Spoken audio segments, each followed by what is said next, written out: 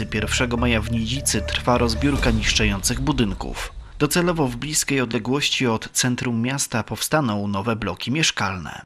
Znajdujemy się na ulicy 1 Maja, e, blisko centrum miasta. Tereny zlokalizowane w bardzo dobrym miejscu, blisko tereny rekreacyjne, e, jeziorko, zamek, centrum miasta.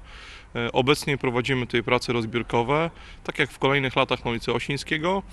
Przygotowujemy tereny pod nowe inwestycje. W miejscowym planie zagospodarowania przestrzennego ten teren jest przeznaczony pod budownictwo wielomieszkaniowe e, z dopuszczeniem usług. Po wcześniejszym przygotowaniu terenu na obszarze ponad 1,5 hektara w przyszłości może stanąć nawet kilka bloków. Po uporządkowaniu na tym terenie może powstać kilka bloków wielorodzinnych. Oczywiście musimy ten obszar przygotować e, tak, aby potencjalny nabywca, inwestor mógł e, wejść e, w gotowy teren. Ten obszar przygotowujemy w tym roku. Miejmy nadzieję, że w drugiej połowie roku będzie on gotowy i przeznaczony do sprzedaży, oczywiście w przetargu. Teren przy ulicy Kajki 1 Maja w niedalekiej przyszłości będzie wyglądał jak ulica Ogrodowa. Remont przychodni lekarskiej przy ulicy Norwida zakończył się sukcesem. Dzięki dofinansowaniu mieszkańcy mogą cieszyć się odnowionym budynkiem. Tak, rzeczywiście, prace przy modernizacji, kompleksowej modernizacji, termomodernizacji y, przychodni na ulicy Norwida no, zostały zakończone w miesiącu styczniu 2018 roku. Rozpoczęcie tych prac nastąpiło w lipcu 2017 roku. Montaż finansowy no, był dosyć, y, dosyć prosty. Y, Około 980 tysięcy to koszt całej inwestycji. Z tego 520 tysięcy udało nam się pozyskać z europejskich środków. W miesiącu wrześniu 2017 roku uroczyście żeśmy podpisali umowę na dofinansowanie z Urzędem Marszałkowskim. Remont obiektów wymagał czasu. Nic w tym dziwnego, skoro w jego zakres wchodziły m.in. prace termomodernizacyjne. No, jest to pierwszy budynek y, w naszym mieście, gdzie zastosowano odnawialne źródła y, energii. Na, na, na, dachu został zamontowany kolektor słoneczny, który wspomaga y, ogrzewanie ciepłej, ciepłej wody, która jest potrzebna w tej przychodni. Budynek stał się bardziej nowoczesny. Odremontowano schody, a także podjazd dla osób niepełnosprawnych. W planach są nowe inwestycje. Następna inwestycja to będzie wybudowanie po prostu windy takiej dla, dla tych niepełnosprawnych w, w tym budynku, bo dzisiaj już inaczej no, taka przychodnia nie powinna funkcjonować. Sam podjazd to trochę jest za mało. Różnica pomiędzy starą a nową przychodnią jest ogromna. Działdowskie projekty sprawiają, że miasto z dnia na dzień coraz lepiej funkcjonuje. Inwestycja ruszyła. Miejskie Przedsiębiorstwo Energetyki Cieplnej w Ostrudzie wybuduje instalację na gaz ziemny. System kogeneracyjny rozpocznie pracę jesienią tego roku. Będziemy mieli ciepłą wodę na potrzeby mieszkańców Ostrudy y, z właśnie z układu kogeneracyjnego. No i również y, produkcja prądu, którą y, będziemy odsprzedawać do koncernu. To zadanie ograniczy emisję dwutlenku węgla, umożliwi w przyszłości przyłączenie do sieci dodatkowych odbiorców i zwiększy przychody firmy. A biorąc pod uwagę koszt inwestycji prawie 12 milionów złotych, fakt ten zdecydowanie podnosi na duchu. Skorzystaliśmy z programu e, e, Narodowego Funduszu Ochrony Środowiska. Tam dostaliśmy e, no, prawie 45% e, środków na potrzeby tej, tej, tej inwestycji, a więc jest to dotacja e, z Narodowego Funduszu. Następne 45% e, uzyskaliśmy e, pożyczkę z Wojewódzkiego Funduszu Ochrony Środowiska, tutaj z Olsztyna, od nas. No i pozostała część jest to środki własne firmy. Dobrych wiadomości ciąg dalszy. Ostrucki MPC już ma nowe plany umożliwiające dalszy rozwój. Planujemy również termomodernizację budynku kotłowni. To e, tam również będą za, zainstalowane pa, panele fotowoltaiczne na dachu, które będą, będzie ta energia elektryczna wykorzystywana na potrzeby, na potrzeby kotłowni. No i również olbrzymie zadanie, e, którym cały czas pracujemy, to jest podłączenie do miejskiej sieci ciepłowniczej e, odbiorców na osiedlu grunwaldzkim.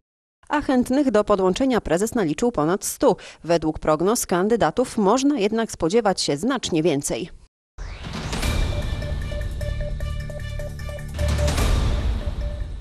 Po raz pierwszy w budżecie gminy Nidzica zostały zabezpieczone środki w wysokości 85 tysięcy złotych na wymianę źródeł ciepła na bardziej energetyczne i ekologiczne. O dotację na wymianę źródeł ciepła może ubiegać się mieszkaniec e, z terenu miasta i gminy Nidzica.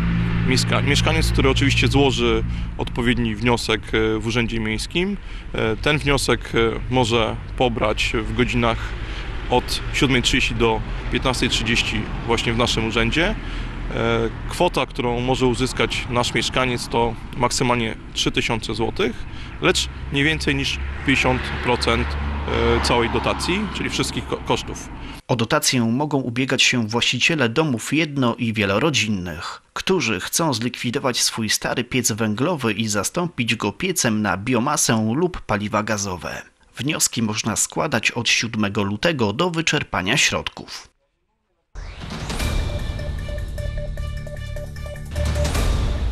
Jak co roku ostrudzcy strażacy oraz policjanci zorganizowali narady, które miały na celu podsumowanie roku 2017. Coroczną odprawę policji w Ostrudzie rozpoczął nadkomisarz Marcin Danowski. Między innymi podkreślił ogromną aktywność funkcjonariuszy oraz podziękował im za pracę w roku 2017. Przedstawione zostały również priorytety na rok 2018. Miniony rok był wyzwaniem dla służb mundurowych. Strażacy z powiatu ostruckiego mieli pełne ręce roboty. Odnotowaliśmy 1329 naszych interwencji. Y, Jest to wzrost w stosunku do roku 2016. Na uwagę zasługuje to, że mm, dosyć poważnie spadła ilość pożarów. Odnotowaliśmy ich około 380. Y, Niestety znacząco wzrosła liczba miejscowych zagrożeń, których y, było 860. Y, Związane jest to przede wszystkim z pogodą. Y, Mieliśmy w, w sierpniu, we wrześniu, ale także pod koniec października takie ekstremalne sytuacje, gdzie wiały wiatry, padał deszcz y, i tak jednego dnia strażacy na terenie powiatu ostruckiego wyjeżdżali nawet 77 razy. Komenda Powiatowa Straży Pożarnej w Ostrudzie organizowała szereg akcji mających na celu uświadamianie ludzi o grożących im niebezpieczeństwach. Jako taki sztandarowy cel postawiliśmy sobie prewencję społeczną. Tutaj wiele również akcji, czat i ogień, obóz czujność, bezpieczny lud, związany z bezpieczeństwem dzieci mm, podczas ferii. Y, Myślę, że te akcje przyniosły efekt. Nie mieliśmy tragicznych zdarzeń na terenie powiatu. Y, Akcje y, związane z, ze szkołami, czyli uczestnictwo y, kierownictwa komendy w radach pedagogicznych, gdzie były prelekcje z zakresu ochrony przeciwpożarowej, a także w każdej szkole, gdzie organizowane były ćwiczenia ewakuacyjne, pojawiał się oficer Państwowej Straży Pożarnej z naszej komendy, który te ćwiczenia nadzorował, a również wygłaszał pogadanki dla dzieci po to, żeby było, było bezpiecznie. Należy pamiętać także o ochotnikach, którzy łączą swoje siły wraz z ostruckimi strażakami, by ratować życie innych.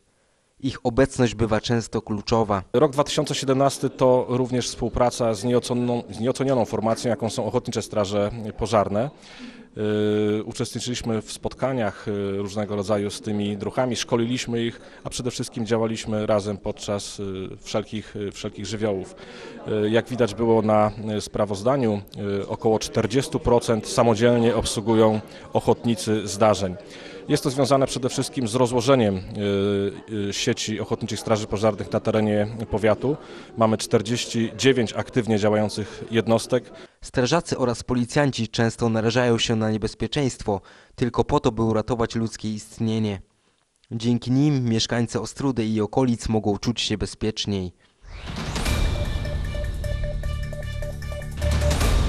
W Ostrudzie odbyły się Mistrzostwa Województwa Seniorów i Młodzieżowców w tenisie stołowym. Zawodnicy walczyli nie tylko o tytuły, ale także przepustki do turnieju młodzieżowych Mistrzostw Polski, który odbędzie się w najbliższy weekend. Mamy nadzieję, że kilka osób, e, bo oczywiście e, po dwie najlepsze osoby dzisiaj z Mistrzostw Województwa będzie reprezentowało nasze województwo na e, Mistrzostwach Polski.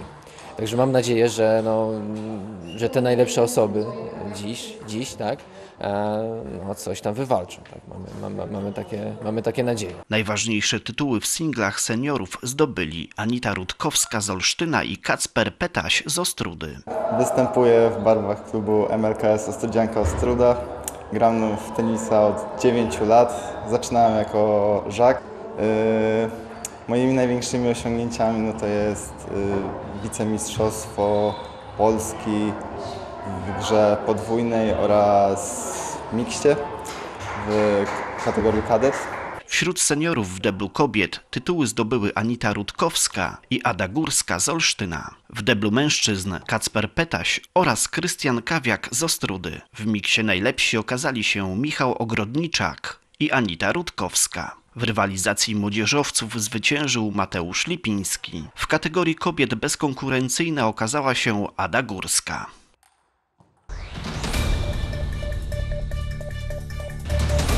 W hali Ostruckiego Centrum Sportu i Rekreacji rozegrano zimowy halowy turniej piłkarski dla rocznika 2007. 11-letni zawodnicy walczyli o puchar ufundowany przez Starostwo Powiatowe w Ostrudzie. Myślę, że to bardzo dobry pomysł, żeby ci młodzi ludzie mieli możliwość e, no, współzawodnictwa z innymi drużynami. To dzisiaj się dzieje.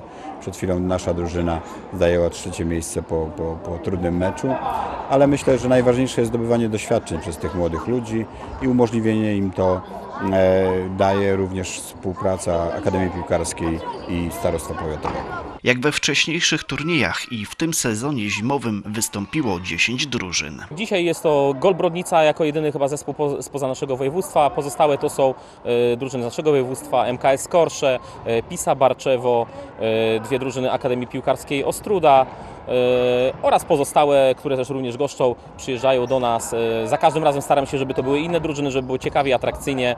E, Wszystkie zespoły rozegrają po 7 spotkań w dzisiejszym turnieju, także tego grania, efektywnego czasu gry jest dosyć sporo.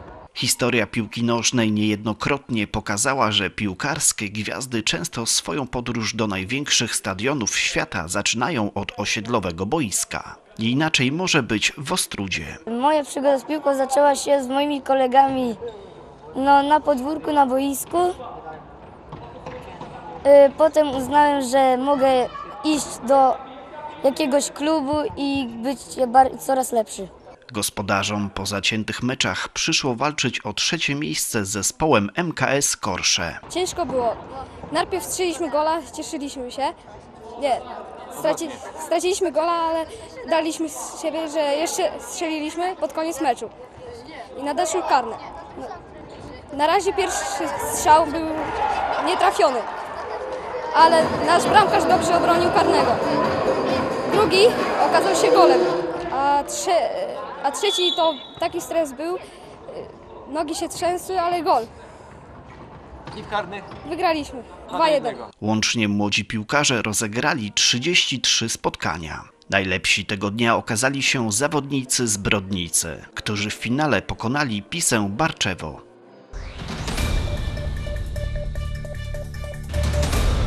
24 lutego w hali widowiskowo-sportowej w Nidzicy rozegrana zostanie piąta edycja turnieju piłki nożnej chłopców. Rocznik 2005 i młodsi Nidzica Cup 2018. W tym roku w rozgrywkach weźmie udział 10 drużyn. Podczas e, tego turnieju weźmie udział mm, e, w rozgrywkach 10 drużyn.